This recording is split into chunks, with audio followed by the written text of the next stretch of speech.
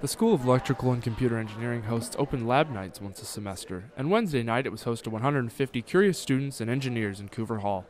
Vicki Thorland Oster is the Student Services Manager for the school and helps students make better choices about their engineering futures.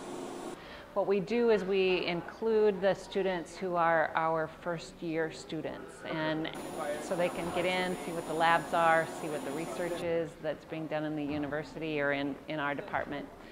Students are able to tour the facility, browsing different possible departments and opportunities that professors and grad students have set up to discover what they might be interested in in electrical and computer engineering. The open lab nights also serve as an exhibit for the ECPE school, and 11 labs were open Wednesday.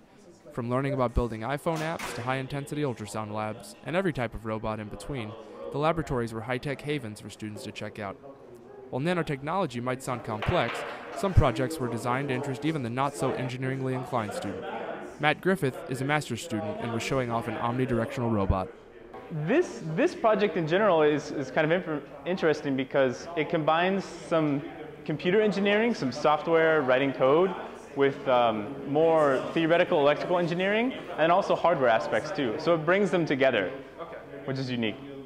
The school's Student Services promotes the event every semester on the engineering website and around campus, and with cookie and t shirt incentives and the cool opportunity to get up close and personal with robots and the future of technology, Iowa State students and Ames residents alike flock to Coover Hall.